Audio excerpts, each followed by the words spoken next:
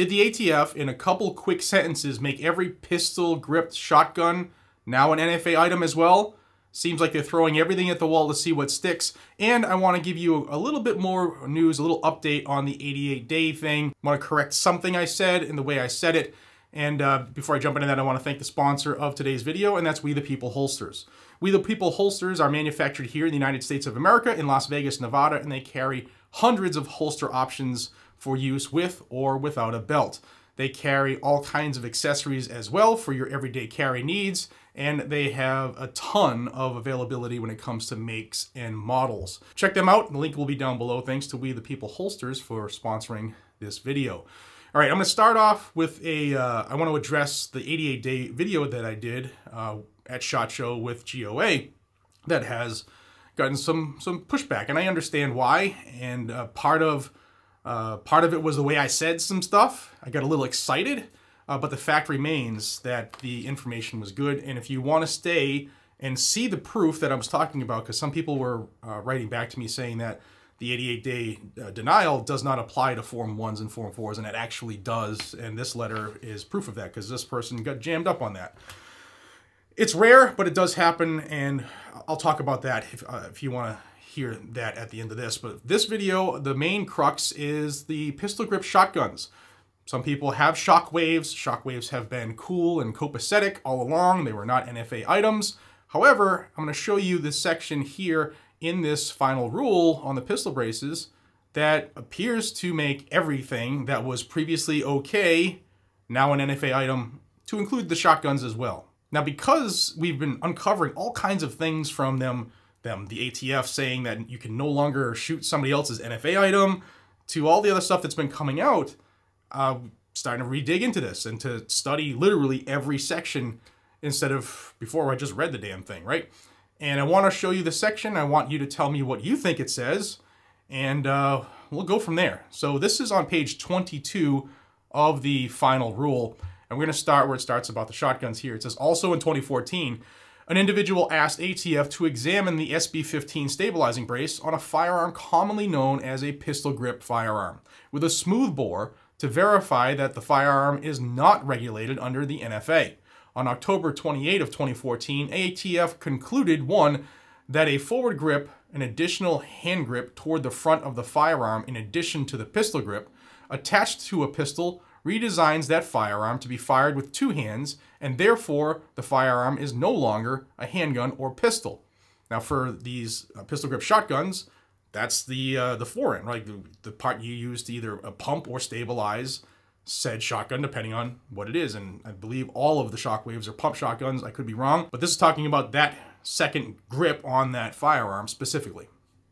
Number two, that it would be classified as any other weapon pursuant to 26 USC 5845E under the NFA if its overall length is less than 26 inches or if it's actually concealed on the person. The overall length of the submitted firearm was 27 and a quarter inches, and therefore ATF determined that, as submitted, the firearm was subject to regulation under the Gun Control Act, but was not an NFA firearm, provided the SIGTech SB-15 pistol stabilizing brace is, is used as originally designated and not used as a shoulder stock. In essence, ATF's original analysis focused on whether the inclusion of the forward grip subjected the firearm to the NFA, but ATF did not consider how the classification would be affected if the pistol grip firearm without a forward grip were to incorporate a stabilizing brace. Nevertheless, the addition of a stabilizing brace to these types of firearms does not assist with one-handed firing, but rather redesigns the firearm by providing surface area for firing from the shoulder. Therefore, these types of firearms would fall within the purview of the NFA as short-barreled shotguns, 26 USC 5845 Delta. Because these types of firearms were never designed to be fired from one hand, this rule, as described in the Notice of Proposed Rulemaking, does not apply to firearms commonly referred to as pistol grip shotguns. The 2014 classification described above and any classification that provides that a pistol grip shotgun is not an NFA firearm is no longer valid or authoritative as of the date that they published this in the Federal Register. and the firearm should be resubmitted to FAT-D for evaluation. So to me, reading that plain text says that any pistol grip smoothbore firearm, commonly referred to as shotguns, uh, they have that second grip. That's two-handed uh, firing. That is a short barrel shotgun. And if it has a stabilizing brace on it, it doesn't assist in one-handed firing. So they're saying that these pistol grip shotguns now are NFA items. And any uh, letter of determination saying they were good to go is no longer authoritative and has been rescinded. Now I'm also going to show you the footnotes and where they address this too. And you'd think they have them together, but they don't. And it's actually footnote number 73. I'm going to show you that here. Now the footnote is on page 47 and uh, footnote 73 says, as mentioned above, any classification that provides that a pistol grip shotgun is not an NFA firearm is no longer valid or authoritative and should be resubmitted to FAT-D for reevaluation. So my question here is if they weren't going to change the designation, say, no, no, it's good to go, why would they need you to submit that for another reevaluation? Why wouldn't they just say they're, they're fine to go or good to go? Well, my guess, knowing the ATF, I don't trust the ATF. I don't know if any of you trust the ATF, but I don't trust the ATF. I don't want to give them an inch. I don't want to, I don't think that they're looking out for our, our, you know, looking out for us in any of this. This is a gun grab. This is a way for them to uh, to piss on our territory, right? Um, so they're saying that you know if you you think it's not an NFA item, resubmit that, and we'll let you know. Which gives them the opportunity to give another classification saying, nope, sorry, it's an NFA. Now, what do you think about all this? I don't trust the ATF, not one inch. I know they watch the channel and I don't care. I think that this is saying that every pistol grip uh, or every pistol grip shotgun is now an NFA item, just like anything that has a pistol stabilizing brace, uh, like an AR and AK pistol. Those are all SBRs according to the ATF now. Uh, and I wanted to bring this to you because we saw this last night and we were like, wait, wait a second. Does this actually say what it says? Now let's talk about the 88 day thing. I, I got a, I got a lot of pushback and I understand why. Um, I did say it was a trap. I do think it's a trap.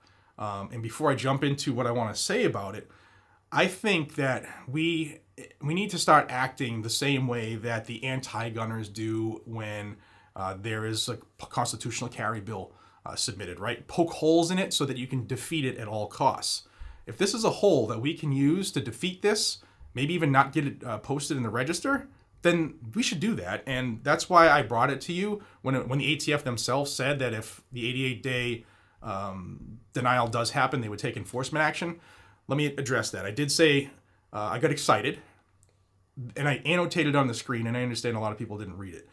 Um, the 88 day window does not start the second that you submit your your form, form one or form four or whatever. It starts when an agent actually opens your background check, begins your background check. If it stays open for 88 days, on the 88th day, if it still remains open, then it's an automatic denial. And I know that it doesn't happen a lot, maybe 1 or 2% of people because they have some issues in their background, right? I get that. My point was, and I didn't say it, I didn't verbalize it correctly. I didn't uh, say it the right way, and I understand why people maybe jumped over or got excited the way I said it, and I understand that. That's my fault. But my point is, is if they expect, they, the, the ATF, expect 10 to 40 million transactions to be to be logged in in a 120 day window of which that system's closed down one day a week, then the potential for this to happen at a higher rate is definitely there. And if the ATF themselves said on the 88th day the denial eh, will, you know, one the denial is kicked in by the system and the human doesn't do it, it's automatic, then we'll take enforcement action. I do believe that that is something to pay attention to. It is now. Are they going to come kick your door in storm, stormtrooper wise? Probably not. There's not enough of them. And thank God we have states that are Second Amendment sanctuary and uh, 2A sanctuary counties, and this is actually going to really test them. But that is an, an area that does exist. And the background, the uh, the 88 days does apply to all of NICS, not just the 4473. Let me read you this uh, 88 day denial so that you'll understand where I'm coming from.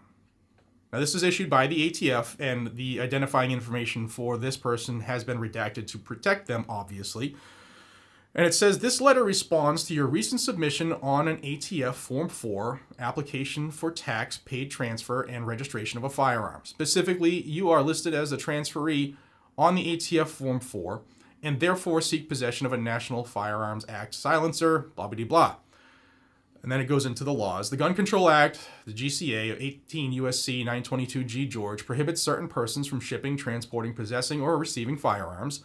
These are known collectively as prohibited persons. The NFA, 26 USC 5812, requires that an application to transfer NFA firearms shall be denied if the transferer, receipt, or possession of the firearm would place a transferee in violation of the law. This includes any transfers to individuals who are prohibited from possessing firearms pursuant to 18 U.S.C. 922G or any state law. Because ATF is prohibited from approving any transfer to prohibited person, the NFA implementing regulations require that in addition to any other records checks that may be conducted to determine whether the transfer, receipt, or possession of a firearm would place the transferee in violation of the law, the director shall contact the National Instant Criminal Background Check System, NICS. The National Instant Criminal Background Check System was created by Section 103 of the Brady Handgun Violence Prevention Act of 1993, commonly referred to as the Brady Act. NICS is a name check system that queries available records in the National Crime Information Center, otherwise called NCIC, uh, the Interstate Identification Index, otherwise called III, and the NICS Index to determine if prospective firearm purchasers are disqualified from receiving or possessing firearms, so explaining the background check system. The Federal Bureau of Investigation is responsible for operating NICS. Pursuant to the requirement of the Brady Act, the FBI has published implementing regulations regarding the operation of NICS 28 Code of Federal Regulations, Part 25, Subpart A. These regulations permit NICS to respond to inquiries by ATF in connection with a civil or criminal law enforcement activity relating to the Gun Control Act of 1968 or the National Firearms Act. Here's the section I want everybody to just pay attention to. Your NFA application has been disapproved by ATF based on the FBI reporting a final status of open on the required background check after 88 days and have not received information back on the final disposition of potentially prohibiting information. One avenue to receive information relative to information in one's background, the FBI can provide individuals with an identity history summary, often referred to as a criminal history record or a rap sheet, listing certain information taken from fingerprint submissions kept by the FBI and related to arrests, and in some instances, federal employment, naturalization, or military service. The FBI offers a method for requesting a copy of your identity history summary or proof that one does not exist. Your NTN is blank. For additional information regarding the FBI's identity history summary check, please visit this website below. And please be advised that it is the responsibility of the individual to resolve any background check related issues with the respective courts arresting agency, or other state agency contributing firearms related information to the NICS. The NFA division will not be able to assist you in resolving any issues regarding the open background check. Upon resolution and correction of source records, you may resubmit a new NFA application, and it's respectfully submitted by Branch Chief of the NFA Industry Processing Branch, Amy uh, Stelly. So I wanted to show you that because A, uh, the 88 days applies to everything that goes through NICS, including the Form 1s, and in this case, Form 4. Uh, the 88 day thing is real. It doesn't happen a lot, but mind you, we put 10 to 40 million transactions into the system. The possibility of that goes higher, and that is a violation of somebody's rights. This process is a violation of our Second Amendment rights, right? Uh, that's my point. We should be pulling together, not looking to, to poke holes in what everybody else is saying. I'm not correct 100% of the time, and nobody else is either.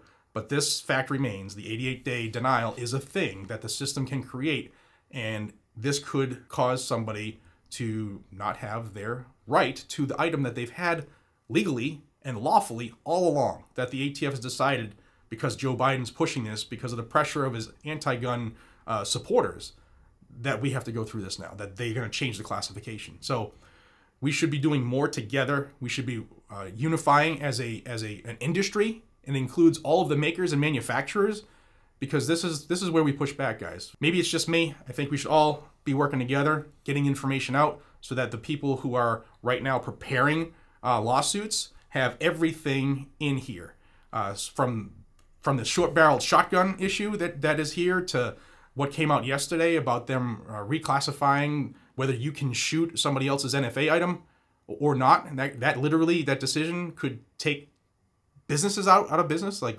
machine gun ranges that rent stuff. It could take industry events gone, could change the industry overnight. Those are big things, and they should all be part of the lawsuit. So let's bring this information forward. Let's share it. And if you want more information on this and anything else related to the Second Amendment, whether it's good, bad, ugly, or indifferent, then like the video and share the video. And I look forward to having you here for the next one here on Guns and Gadgets. Guys and gals, be safe, stay vigilant, and carry a gun to keep you, your friends, your family, your community safe. I'll see you all on the next one. Take care.